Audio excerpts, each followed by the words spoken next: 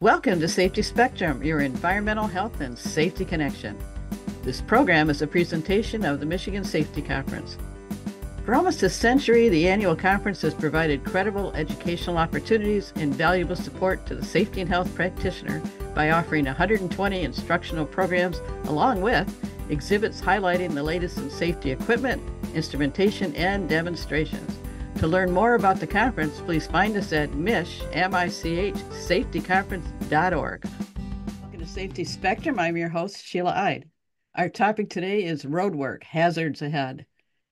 Working on the roads is a difficult construction job, the work occurring in all types of weather and environmental hazards, and in some cases, sprinkled with vehicles whizzing past. Our speaker today will focus on the rules and regulations for road work and how the crew works together to get the job done safely.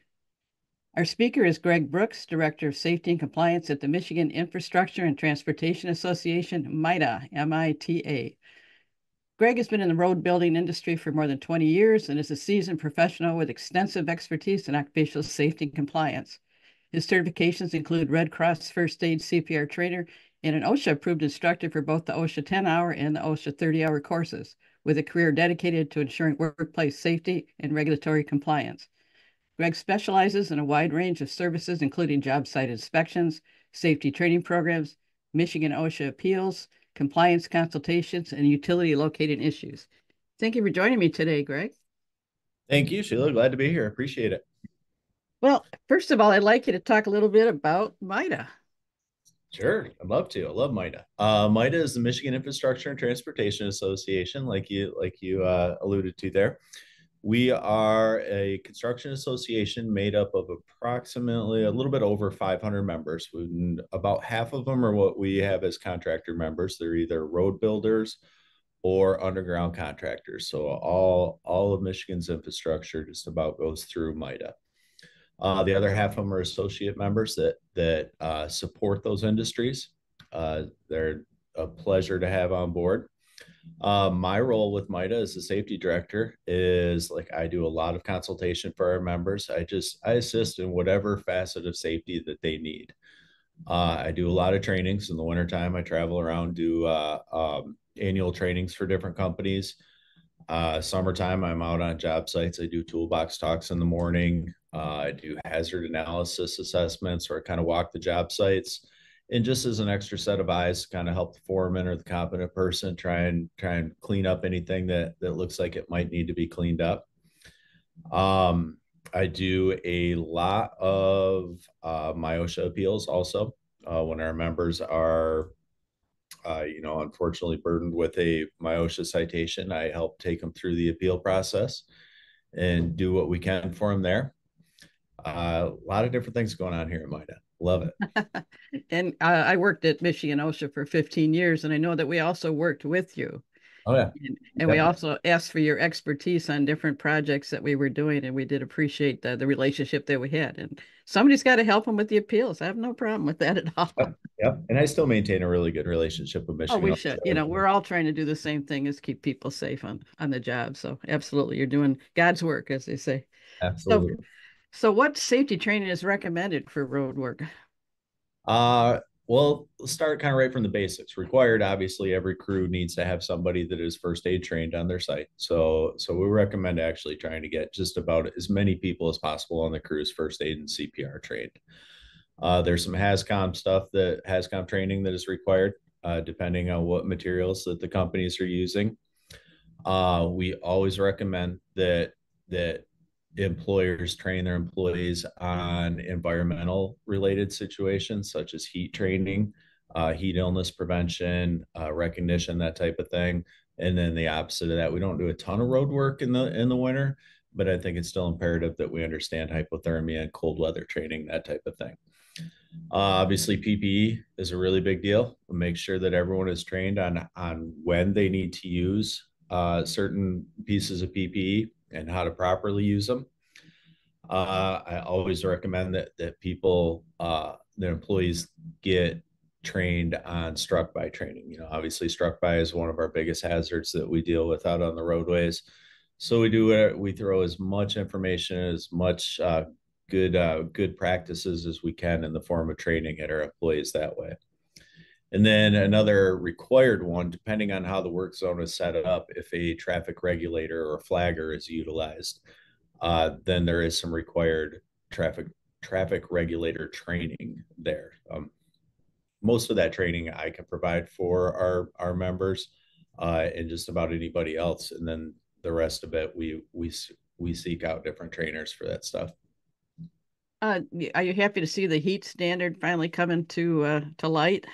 You know, there's there's parts of it that I really like, and most of it, honestly, most of our employers we we've been doing that for quite some time.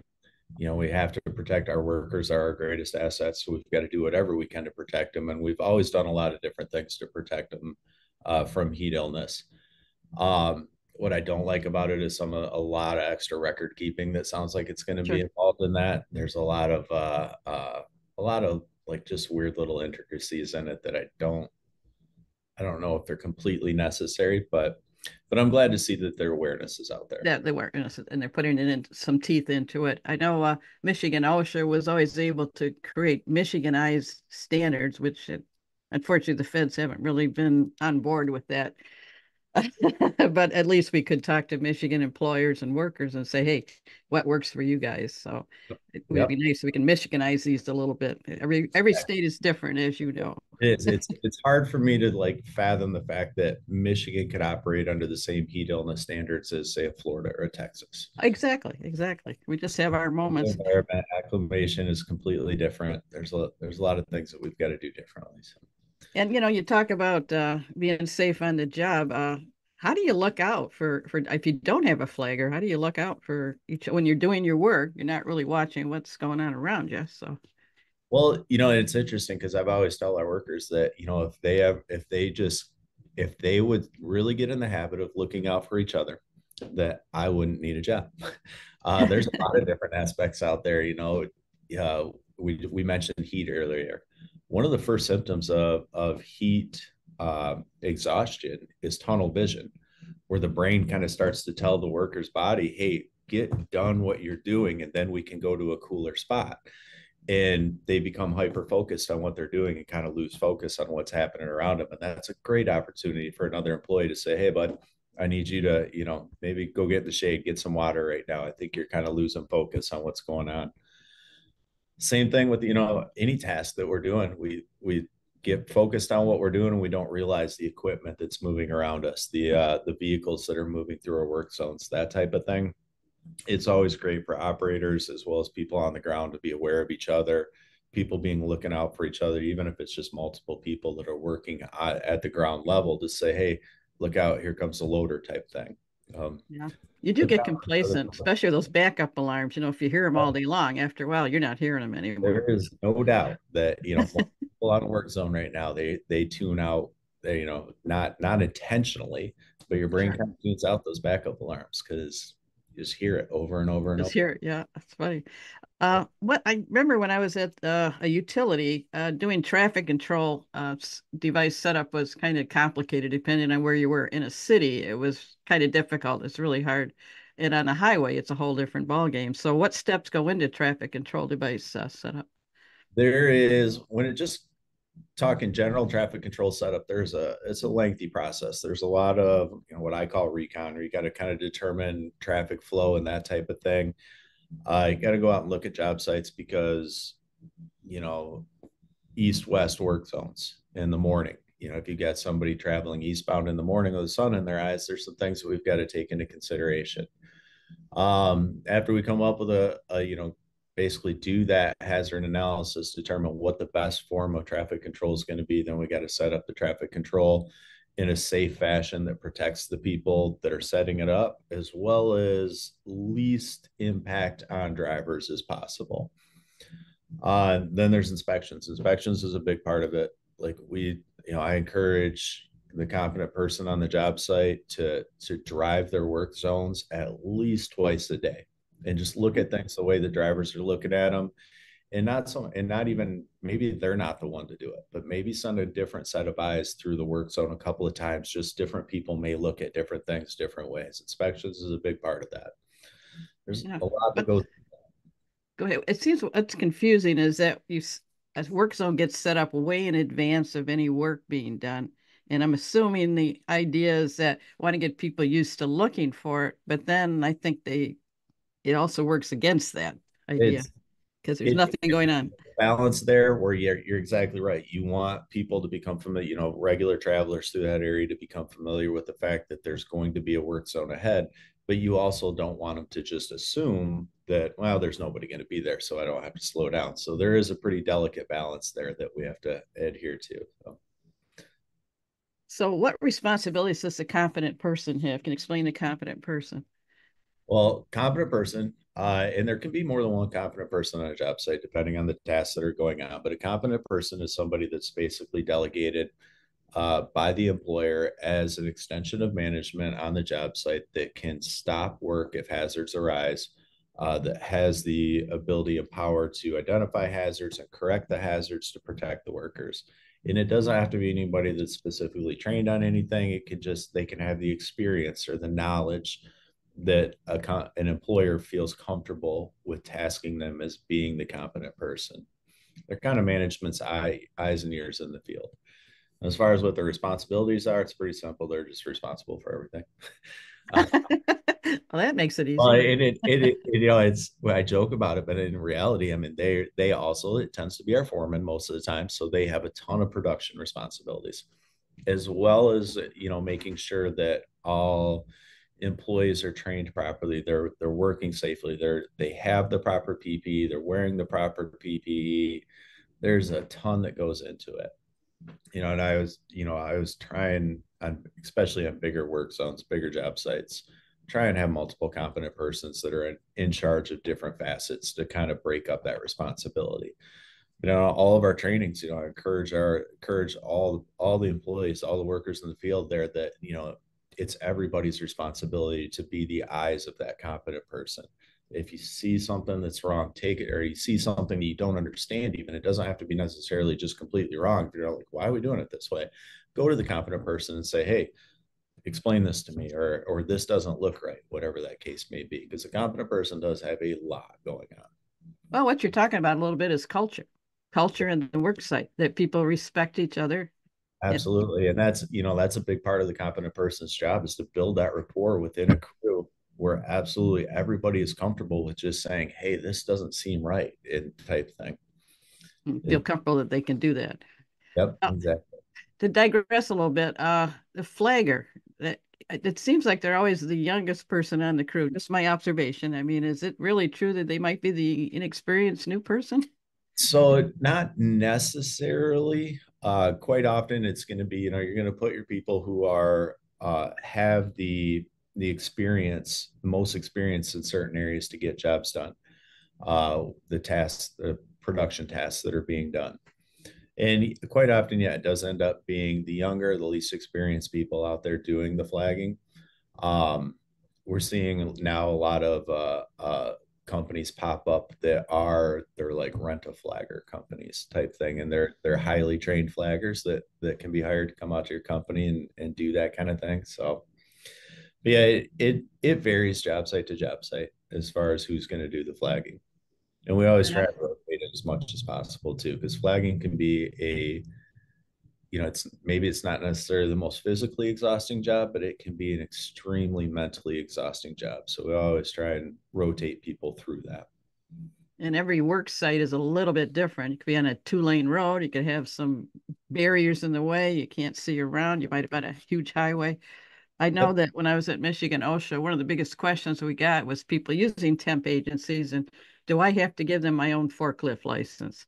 Yeah, they've been trained on forklift. I go, you have to make them go through the steps at your business, at your warehouse, at what you're doing. You can't assume because they know every type of forklift uh, issue that's going to come up. So yes, you do have to make sure that the person you hire from a temp agency knows your job, your work site. Exactly. And they may come to you with a flagger, like have the training that's required for the flagger training, but it's always a good idea to check that. And it's always, you always need to do a little bit of job site specific training also, because there could there be sees whether it be parking lots or intermediate roadways within the work zone, that type of thing that they all need to be familiar with.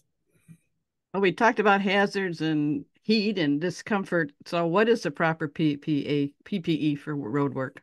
Oh, well, it, that's a challenge, I'm sure. A lot of different things. Um, you know, I'll just kind of go from head down. Yeah, I hard hats on just about all of our road jobs. Uh, just about. Uh, a hard hat is going to be required. Obviously, it's uh, Michigan OSHA requires it whenever there's an overhead hazard, and there's a lot of different things out there that could be perceived as overhead hazards. So, hard hat, um, safety glasses. Anytime we have equipment moving through a job site or vehicles moving adjacent to a job site through a work zone, that can create a hazard to your eyes. They, they're kicking up rocks all the time. So safety glasses are required most of the time. Uh, depending on the task that they're doing, if there's any cutting or grinding or anything like that, then they may have to go to a full face shield. Uh, high visibility clothing is a requirement. Daytime, they're required to wear a class two um, high reflective vest, depending well, depending on the work zone that they're in, but they're at least required to wear high vis clothes. There's a lot of circumstances that require the class two reflective uh, material in the daytime, and then class three in low light conditions, and that's a, a misnomer or misconception, or people get that wrong a lot. Class three isn't required just at night; it's required in low light conditions, and a lot of times our guys, our workers get there in the morning they may need to start in a class three before they before they can switch to a be foggy or it's the daylight's not all the way up yeah the sun's not up yeah good point. Exactly what do you, what is your opinion okay this you know going off script what is your opinion of night work I, they were trying to do that for a while to kind of eliminate some of the drivers uh, yeah so there's i think there's a time and a place there's some you know and it's there's a whole depending on the scope of work there's a lot of or scope of work in different areas that they're going to be working in. There's some places that night work can be the best. In most situations, though, unfortunately, because of the hazards of drunk drivers, if we can't work behind a positive protection of some sort, then we just assume not do night work. Yeah, it's odd. A firefighter once told me that something about the lights on the fire apparatus when they're at a fire, all the blinking lights seem to attract the people that have been drinking. I, I don't know how true that is, but oh, yeah. and oh, people yeah. run into right the back of the, all the lights flashing and run right into the back of them. Yep. Yep. You know, unfortunately, we're starting to see more intoxicated drivers in the daytime. Incidents with intoxicated drivers in the daytime too, or drivers under the influence of some sort too. That that risk is always there. It's not just a nighttime risk, but we do reduce it by doing work in the daytime. Yeah, maybe that's that working from home issue. I don't know. what hazards, uh, uh, what can be done to reduce risk working around heavy equipment? Because obviously you you folks are using some of the biggest yeah. trucks I've ever seen. Yeah, you know, we we do. We talk a lot about um, you know drivers and in the motoring traffic distracted excuse me distracted drivers and drivers under the influence but statistically yeah we are our own worst enemy um, so there is a lot of things that we do and you know a1 we talked a little bit about it looking out for each other type thing. People get complacent walking around a job site and they may not realize that they're walking directly behind a piece of equipment or directly in front of a piece of equipment. Um, what i always do is teach people on the ground if you are passing through either a blind spot of a piece of equipment or the direction of travel of a piece of equipment make eye contact with the operator before you do so and then as a courtesy as you get through that that area of travel or that that blind spot you know just give them a thumbs up. Let them know that you're there. You know operators in a piece of equipment they get in there they subconsciously they they automatically know it's not even really subconsciously where their blind spots are. So they may be performing a task directly in front of them with their piece of equipment but they're also paying attention to what's going on through their blind spots type thing. Uh, but it, if they get distracted by something if if uh, you know, a foreman jumps up on the piece of equipment and says, Hey, I need you to go do this or unload that or whatever the case may be. They're not going to know what's in their blind spots if you don't be patient on the ground and say, you know, just make eye contact and let them know what's going on there. Uh, high visibility clothing is another big piece of that. Um, you know, backup alarms, you know, uh, we kind of we kind of touched on that, but backup alarms are just for that the same reason too to help protect workers on the ground and maybe people who aren't that experienced. Uh, one of the big things that that I really preach to our guys is limiting the amount of ground traffic. You know, if you have you know, there's always going to need to be some inspectors and that type of thing, uh, engineers that are going to be walking around job sites. So I completely understand that, but I always try to encourage you know if you've got delivery drivers coming in, ask your delivery drivers to stay in their vehicles. You don't want them getting out walking around. You know, put a put a porta-john in an area where they're going to be uh, dry or you know unloading their vehicles. That way, you don't have them getting getting out of their vehicle and work going all the way across the job site or a work zone to get to a porta-john or to say hi to their buddy or something like that you want them staying in the vehicles, minimizing traffic as much as possible. That's a good point. I never even thought about that part. Other people than the construction folks being out there. So yeah, that is a hit.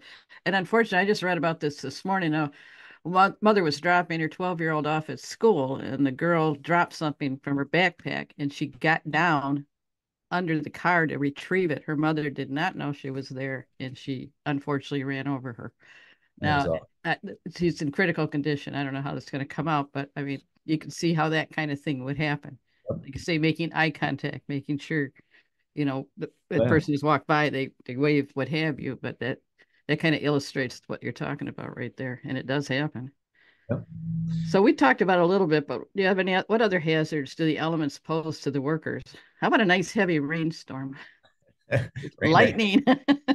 Rain day, we all go get pizzas. um, you know, we have a short work season in mm-hmm. Michigan. You know, I, I mean, it's been a little bit different over the last couple of years, but we we have a lot of road work that gets to needs to get done and it while the weather permits us to do, where the temperatures permit us to do so. So yeah, there is times that we're going to have to work in a little bit of adverse conditions, whether it be wind, rain, and again, it's just making sure that everybody has the right the right PPE, taking the right precautions, you know that's your tool doing your toolbox talks in the morning saying hey guys if it's raining today we need to make sure that we're keeping our windshields and our equipment clean so that we still have good visibility. Um, you know if you're going to put a hood you know a lot of times in the rain uh, people on the ground like to put a hood up over their uh, their head to protect themselves from the rain. Well that limits visibility. So if you're doing that you need to make sure that you're taking extra precautions and that type of thing it can be done safely. It's just might have to be done a little bit slower, and everyone's going to have to have a conversation about it. Everyone needs to be aware of the extra precautions that are being being taken.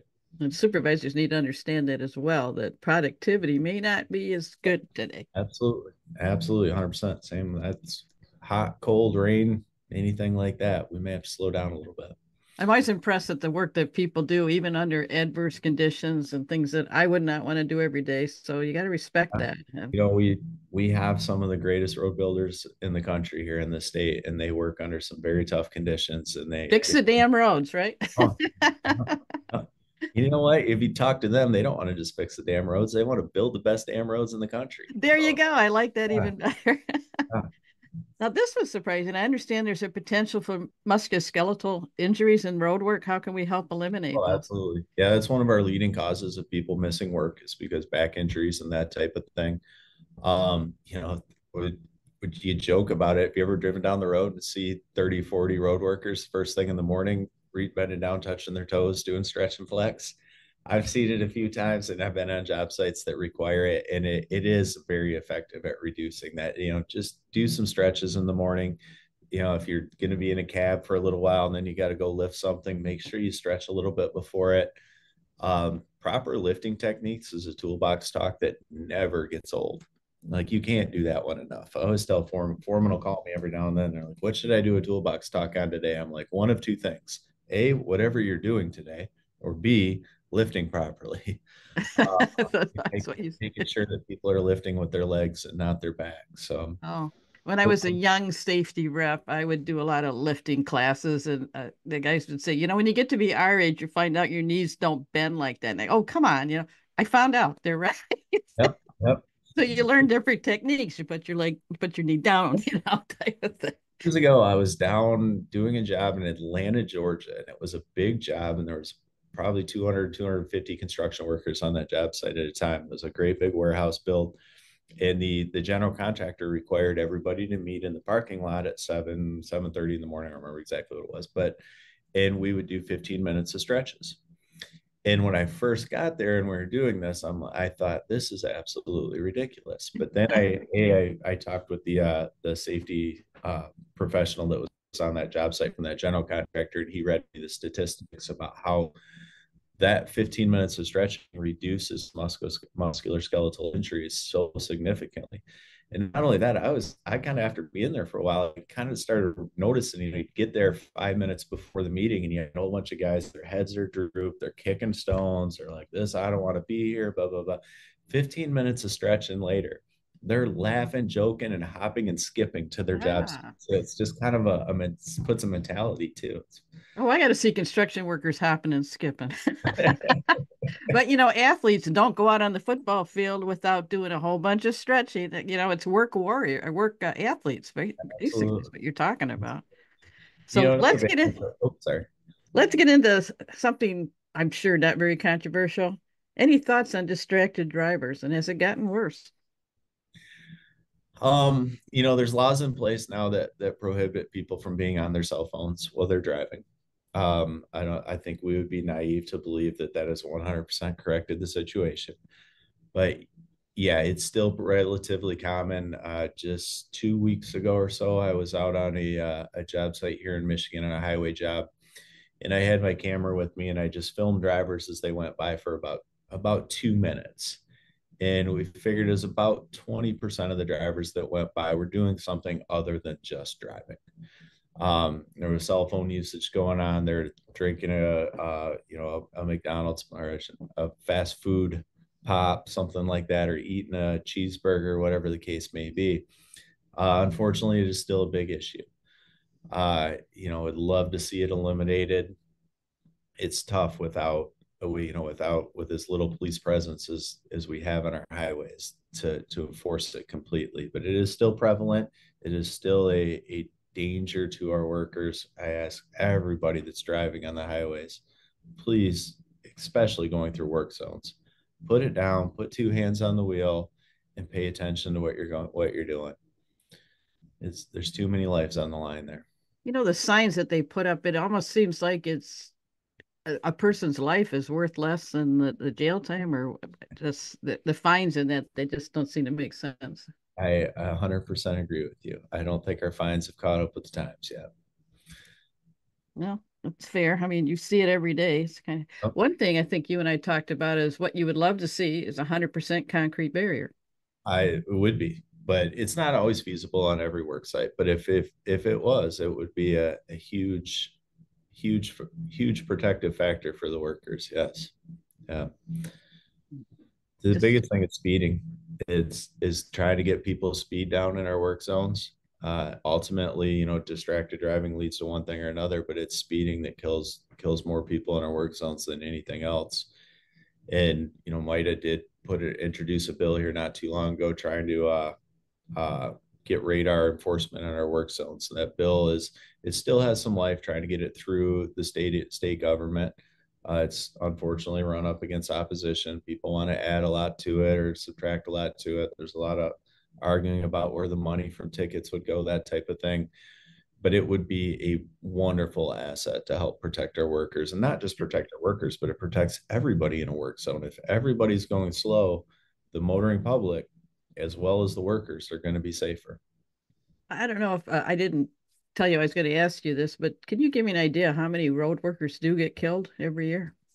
In the United States, it's you just about every year. It's going to be between roughly 100 to 110 is probably in the average. Wow, that is horrible. Yeah, and that's that. You know, 100 to 110, and they figure somewhere between 900 and 1,000 fatalities happen in work zones. So most of the fatalities in work zones are actually drivers, that type of thing. But and you know, it's people backing up in the queue. It's people driving too uh, too fast. It's it's people not driving properly through work zones. It's unfortunate. Then slower speeds would would eliminate a lot of those fatalities. Yeah. Well, this is probably a silly question. Why do you believe this topic is important to talk about now? Because every single person that's out there that is trying to build a better road for their families, their neighbors, their fellow Michiganders, they have a family, they have people that are counting on them, they have you know loved ones, parents, children, husbands, wives, and they are all important. They're out there trying to provide a service for people. And it is important that we do whatever we can to protect them. Need to look out for each other. Absolutely. Absolutely. Can you give her me any stories that might illustrate the issues of people looking out for each other?